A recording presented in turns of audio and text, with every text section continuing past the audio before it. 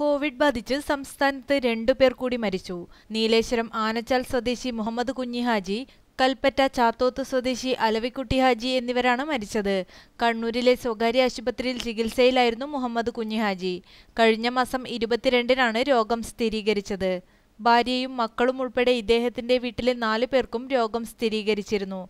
കൽപ്പറ്റ ചാത്തോത്ത് സ്വദേശി അലവിക്കുട്ടി ഹാജി സ്വകാര്യ ആശുപത്രിയിലാണ് മരിച്ചത്. കോവിഡ് ലക്ഷണങ്ങളോടെ മൂന്ന് ദിവസം മുൻപ് ആശുപത്രിയിൽ പ്രവേശിപ്പിച്ച ഇദ്ദേഹത്തിന് ഹൃദയ സംബന്ധമായ അസുഖവും ശ്വാസകോശ രോഗവും ഉണ്ടായിരുന്നു. ഇന്നുച്ചയ്ക്ക് പന്ത്രണ്ട് മണിയോടെയാണ് മരിച്ചത്. ഇദ്ദേഹത്തിന്റെ മക്കളും രോഗബാധിതരായി ചികിത്സയിലാണ്. News desk real news Kerala.